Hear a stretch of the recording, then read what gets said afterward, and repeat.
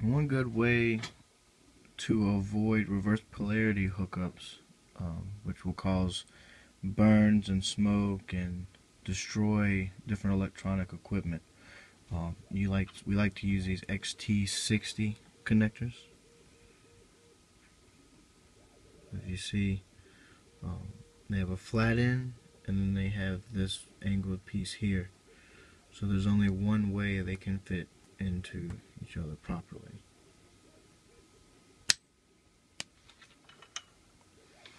Now we have some 12 gauge wire, red, which will be the plus. We have the black wire for negative, and there's some heat shrink to put over the solder joint so that you can avoid any shorts in the future. Uh, I have some wire strippers. Not exactly the correct size, but we'll make do with what we have. Um, I have some solder.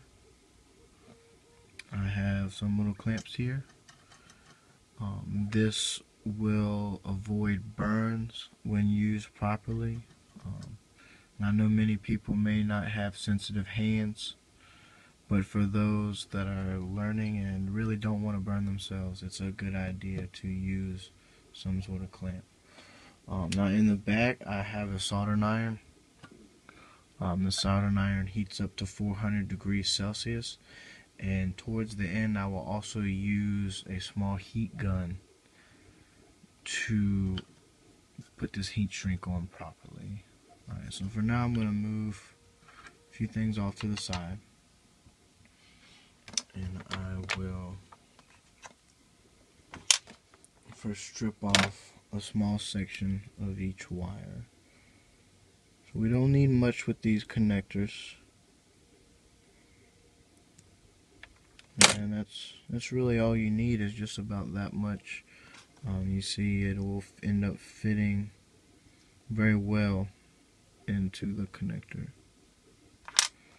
now I'm going to do the red wire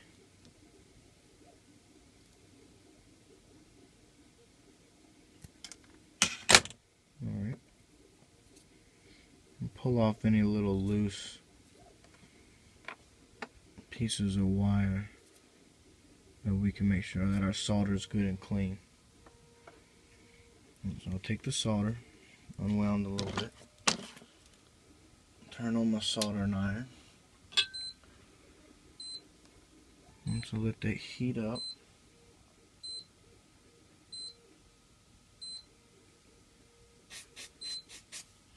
Then I'm going to tin the ends of the wire.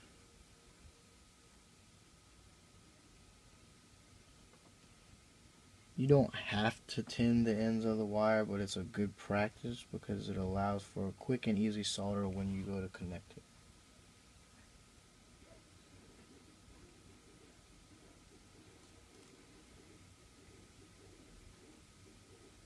And we'll just clean it up so that it still fits into the connector very easily.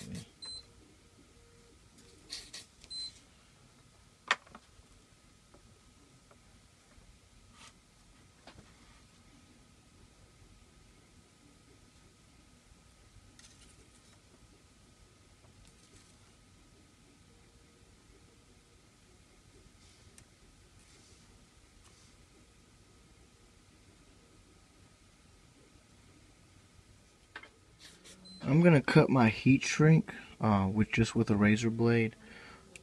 Uh, this heat shrink, you're gonna want to get your cut edges as straight as possible so that they will line up well. And then once heated, they won't show much of the actual metal part on the connector. I'm gonna take it.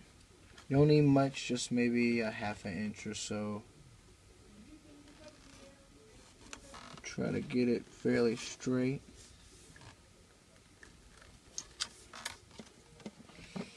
And then before we solder,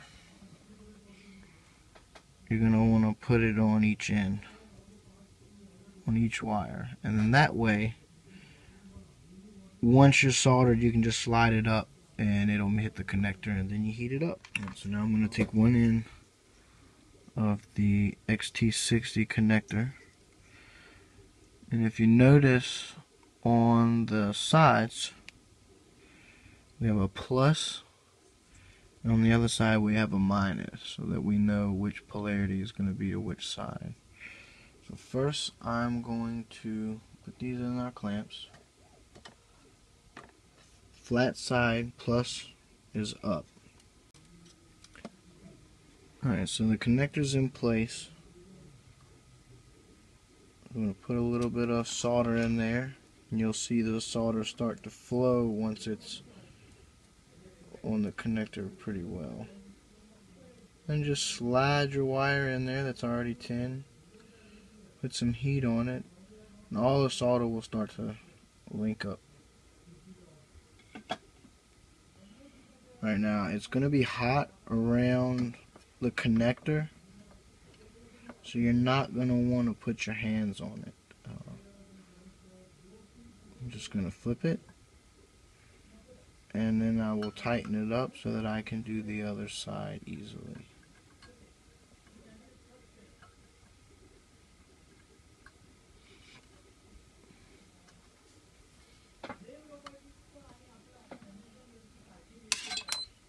And again, put a little solder in there it'll start to flow once it's properly heated. And just slide your wire in keep a heat on it.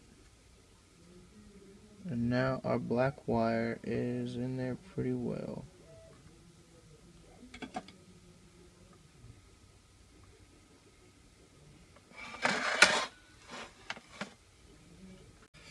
Okay now we have a good solder on both of the wires we want to cover that so that we can avoid any shorts in the future.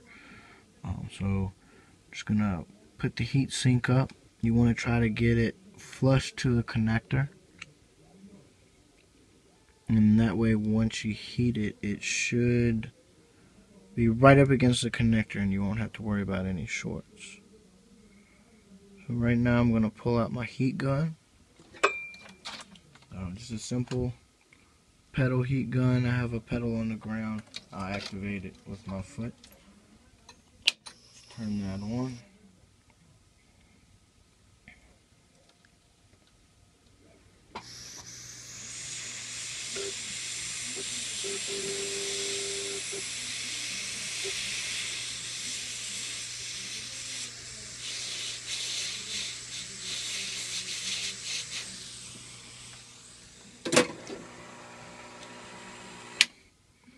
And there we are. Um, now, there's very minimal pieces of the metal still showing.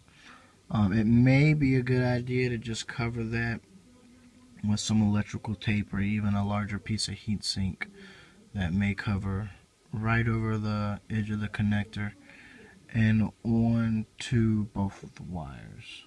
Um, now this is a pretty good job, but just if you want that extra protection, then you can go right ahead.